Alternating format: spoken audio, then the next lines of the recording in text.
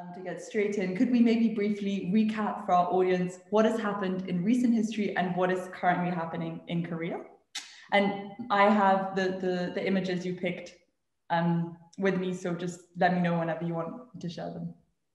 Okay, well, thank you for having me. I am delighted to be here. Um, and thank you, especially to you for your hard work for making all of this happen. Well, that question that you asked, um, you know, a brief recap of the Korean history. You know, I asked that very same question to my father over and over again, more than 100 times as I was growing up. And he would get really annoyed at me because he had to repeat himself again and again. Um, but uh, I am not going to pretend that, you know, uh, I am going to summarize the history of division of Korea in five minutes. What I can tell you is that um, unlike uh, what most uh, people or a lot of people think, uh, Korea was uh, divided before the Korean War in 1950. already in the beginning of the 20th century, there was an ideological division because uh, uh, capitalism had come from Europe, communism had come from Russia, and there were these uh, conflicting ideologies flourishing all over the continent. Uh, already at the beginning of the 20th century. And before you know, in 1910, Japan colonizes Korea, and Korea remains colonized by Japan for 35 years. Finally, in 1945, uh, after the end of the World War II, um, we get liberated. And uh, we think, okay, now we have freedom. Now, well, guess what? Um, the, the country was too weak to govern itself. And um, uh, what happens when the country can't control its fate? Well, the neighboring countries take care of you. So uh, Russia and China started luring over the country. Um, the US and the UN started eyeing on the country as well. They couldn't make up their mind. Um, so they just decided they would just draw a line in the middle uh, on the 38th parallel. And that became South Korea and that became North Korea, simply. Um, so then, but uh, the country was divided. We each had our government, one in the north, one in the south. So we thought, okay, now uh, we, we are going to um, do a better job at uh, looking after our country. Well, not really, because five years later in 1950, uh, it's the Korean War. The North invades the South, North being backed up by Russia invades the South. And um, there were something like 5 million casualties, I think. Um, in 1953, there's an armistice that is signed but the peace treaty was never signed. Till today, it remains unsigned. So technically, we're still at war with one another. So let me fast forward a little bit here because there's so much to say, but uh, let's go to 2018 and 2019. We know that President Trump met with Kim Jong-un twice uh, in Vietnam and in Singapore, um, but nothing has uh, come out of it uh, either, uh, as we all know. So then what happens in uh, 2021? Well, we've heard a lot about South Korea lately because of uh, the remarkable job they did about COVID-19 and how they managed to contain it. Um, uh, but we haven't heard much about North Korea. Uh, we haven't heard much about the inter-Korean affairs either. The truth is not much has happened uh, over the last 70 years um, there were many attempts to get the two countries closer together, but um, all the attempts uh, failed. We, we came full circle, really. So uh, what does all of that has to do with me? Well, it is that status quo that exasperated me and that pushed me to do the work that I do today. Um, I think I'll stop here for the recap because I could go on and on, and it's so complicated. I will never, I will never be able to find an end. it's so complex too. I love, yeah, of, of course. I mean, we were just talking before about oversimplification. I think it's a perfect recap. Thank you. Um, and I just also wanted to ask you because I remember you told me that to fight for Korean peace is to fight for world peace. So we're a group of very international people here. Um, what could you could you sort of just tell me a bit more about this and, and what you mean? Let me explain. When I was a child, every 15th of the month, we had to do what we call the Minbagmi Hulian, a war training. So every 15th of the month, everybody uh, was supposed, everybody was hiding inside a building. The cars stopped in the streets. Um, nobody, it became a, a ghost town after we hear the siren. And for 20 minutes, life would stop in the city. Siren would ring again, and then it was back to normal again, uh, normal life again. Um, just to say that I lived all my life with a fear of a war. Till today.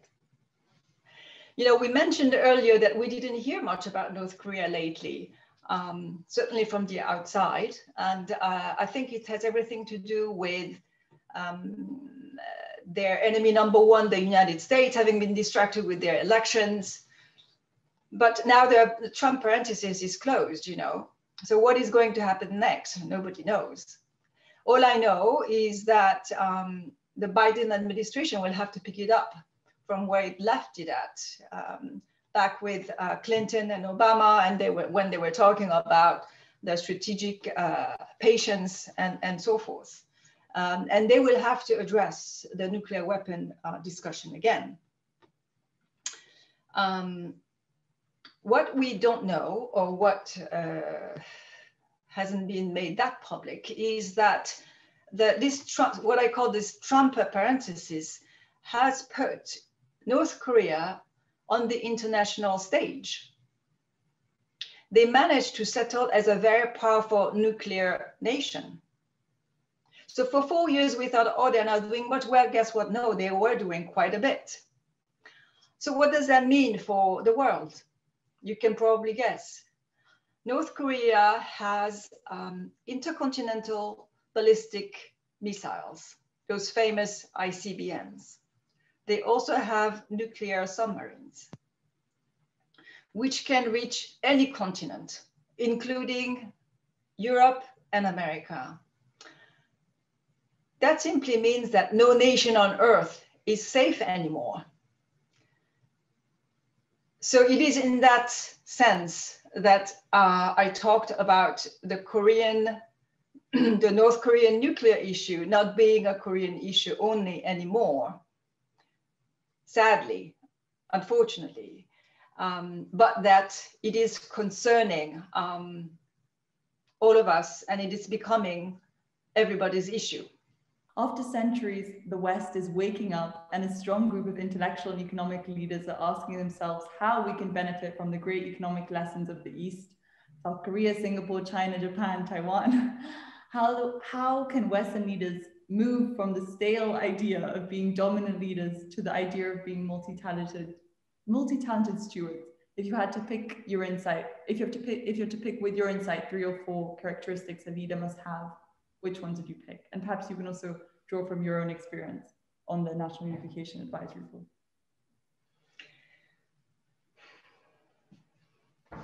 That's a very broad question. So um, let me think. Um, why don't we take the example of the way we handle this uh, uh, sanitary crisis? Um, I think it would be a good way of um, of explaining through through a, a concrete case. So uh, when that happened, when the whole crisis exploded back in March, um, you know, I was uh, I was being a wimp. I flew to Korea. you know, I left my poor husband alone here in London, and um, I flew to Korea, and my children were in Korea as well. So I know I have I have lived um, the way they handled this crisis there, and I have to say I felt so safe. Um, but you know what becomes a problem here in the Western society is not a problem there um, for I think a couple of reasons. First, culturally, uh, in a country like Korea, as we have uh, um, seen now through the presentation, we, we, um, we know how to be together in front of an enemy. You know, we lived with this uh, anxiety of war uh, for so many years. Um, when it comes to being together in front of a danger, we know how to do that. Um, so it turns out it was not a military danger, a military war from the north, but it was this virus war. So when there were messages coming out of the of, of the system of the government saying, okay, everybody has to wear a mask, um, and we are doing this, doing this, and doing that. There was no um, metaphysical uh, debates that were needed about that. You know, wear your mask and protect your life. There was no debate about, oh, but uh, that's against my um, right of freedom and that's uh, not against my, that's against my belief. And uh, so uh, if you will, it is a side of, uh, of, the, uh, of the Korean society that a lot of Westerners don't like because they think, okay, well, you know, we don't want to live like you. We don't want to just do whatever the government tells you to do. We don't, we don't want to be robots. We, we are individuals and we are going to do what we want to do. We live in a democratic country. So um, that, that mindset plays against us for some things, but so played in, uh, in our favor in front of this crisis. So it is really a question of, um, you know, uh, you can't choose and pick. you, you, you live with the package, but, um, you know, uh, I feel that when democracy develops to a certain level, um, the, the, the, the, fundamental problems all of a sudden are forgotten. You know, the survivals are forgotten. Um, uh, and it, it, just takes a reminder to, to, uh, to, to, let people know that, uh, you know, it is important to wear a mask, you know. Um, do, do, we, do we know, I mean, is it acceptable that, um, you know, 25 million North Koreans live in the dark today?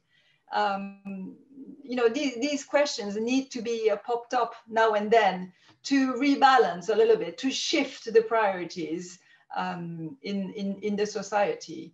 Uh, but when, when you live in a country which was never attacked or, um, you know, like, uh, I don't know, it, it's hard to get that mindset. But because Korea was at such a, and is still today in such a, um, uh, hot seat, um, you know, we, we, we have that mentality. And um, that's also how they made this uh, economical miracle for the last uh, 50 years or so. And that's how they became the, the 12th, um, you know, uh, economy uh, worldwide uh, today. But um, we, it's all um, good and bad sides in a package, but that served us well for the corona crisis quickly moving on as um, again time is flying um, moving to this sort of women women power that we've been exploring today um, what has your experience been like um, working in a government workspace like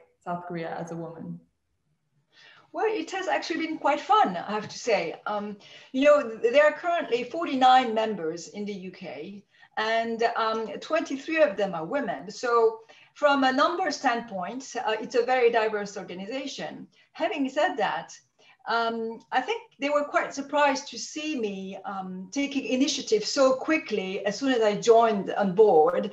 Um, uh, you know, I think my private sector experience helped me being efficient and result oriented and so forth.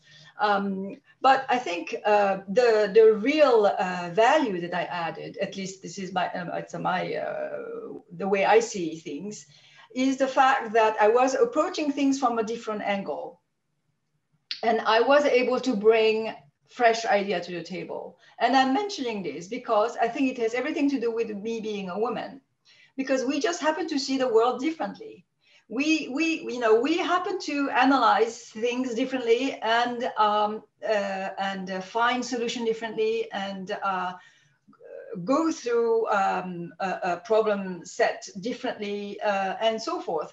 And um, it is so essential to mix people you know it is so important to have at the same table men women old people young people because honestly the, the, it is the mix that brings the creativity and the innovation and perspective and ideas. So that's the first point I would like to make. You know, yes, bring as many women as you can on the board, on, on the table. They will bring perspective. Um, and then secondly, I would, uh, I would like to maybe mention um, this concept of, uh, of, uh, of empowerment. You know, the reason I was able to add value was because I had this fresh uh, ideas that I, I, I, was able to bring to the table. Well, why did I have these fresh ideas that I bring to the table? It's because I had a conviction. It's because I had a belief. Um, in, uh, uh in this case, it is the belief that that I, I, I was able to unify, that unifying North Korean and South Korean citizens was something feasible. That was, uh, that is my, my belief. And um, when you have a, a conviction, uh, you feel important. Not because that I am important, but because you feel that you're the messenger of an important belief. The belief is important. Okay, so when the belief is important, that it makes you important. And that's how does this whole process of empowerment uh, you know begins. Because it's all nice to say to talk about uh, theoretically you know these big words empowerment self-empowerment and so forth but how does it begin you know? Or uh, where's the beginning of all of that? And in my case i can go back to when i was 12 years old when I was in Cameroon uh, attending a French lycée called Fustel de Coulanges in Yaoundé. And um, the, my, my teacher of, uh, my biology teacher um, told my father one day, you know, it was the, the parents teachers meeting day. And she told her, you know, I mean, she told him, there's a problem with your daughter. Um, she's way too shy she, she needs to participate more. She needs to speak more in class. She needs to put up a hand and uh, she needs to uh, be like everybody else and, and speak up a bit. She's way too shy. It's not good. So to that, what does my father answer? He says, well, dear teacher, um, being reserved in our culture is something that is phenomenal we love reserved people. And there is no way on earth I am going to ask her to change. It was so. So, uh, so this is what I mean by empowerment. You know, that that phrase stayed with me all my life, and um, you know, I, I, was 12 years old, feeling insecure because I was told I was too shy and, and worthless but that that sentence you know um, stayed with me. And uh, until today when uh, i face difficulties you you you go back to that. You go back to that space. And i am talking about this in the context of being empowered. You know you don't know when these things happen but throughout your life you have these uh, in, in french they call this jalons. You have these little things that um, make you who you are and you go back to that when you feel strongly about it you know? So um, that was a little anecdote to say um, uh, you know perspective is important conviction is important and uh, and, and self-empowerment is important. And a lot of a lot of what, what you've done in the past few years has, has also been inspired by another amazing woman that entered your life um, Park um, could you tell us a bit about her and a bit about your book, Les Deux Coréennes, which obviously means the two Koreans in French? Yes, of course. I really want to tell you uh, the story of this encounter because it is an encounter that um, six years ago I met uh, Park Ji-hyun, a refugee from North Korea. Um, and a lot of people may not know but we were not supposed to talk to each other. Um, you know, there is still in South Korea today this national security law, which prevents us from talking to North Koreans. Um, and you can understand why, um, because of the background that uh, the, the, the, war and um, all these things happening to, to our country. But I think that when you are not prepared to a situation, and it was the case when I met her, you tend to act on your instinct. And, and that day when I met Ji-hyun, I think I happened to have the right one. It was in 2014, and uh, she was being interviewed by Amnesty International. I had to replace a translator who couldn't make it because she was sick. Well, I was just terrified. I was terrified because she was North Korean. I was terrified because of the stories that she was telling me. Her life story was just simply harrowing. I had never heard anything like that um, in my entire life. The next day, I called the Korean embassy to say, look, I spent an entire day with a North Korean refugee. I want to, uh, you to know, and I would like you to keep it on the record. And for the three following years, the three years that followed that, that, that encounter, I was in a dilemma because my head was saying, don't ever see her again. She's dangerous. She's evil. She's a communist. Don't go near her ever again. And my heart was saying, oh, she speaks the same language. She she she looks like you. She um, it's uh, the same food uh, as you. Um, we look like we're about the same age. I'm curious. I'm sort of drawn to her. So there was this dichotomy I couldn't solve for three years. I really, really, really didn't know what to do. And, you know, helping the other can be difficult, at times dangerous. But I think you accept to go the extra mile because something is speaking to you, because the desire of changing the world is speaking to you at that moment. And only at that moment. So you have to catch it when they speak to you. Um, so not easy at all. Um, but uh, nevertheless, I accept to write the book in 2017. And that's the year where we saw the missiles um, shooting and so forth. It was a difficult year for me. Uh, I knew I couldn't prevent a war from happening, but I could do something. I could write. I could write a book together with uh, Ji-hyun. I couldn't stop the war from happening, but I could make an individual peace with one North Korean. And that's what I wanted to do. I wanted to show the world that one South Korean was capable of making peace with one North Korean. So we write the book at the first person. And it is the two of us, of course, but we wanted to speak with one voice. So in the book, when I when it says I, it is her when she speaks about North Korea, and it, and it is I. Uh, I is me when I speak about South Korea. And uh, we don't really tell a story, or at least I don't think, uh, but rather we show the reader um, a world. We show them a world that is very different. And we, uh, we let them draw their own conclusion.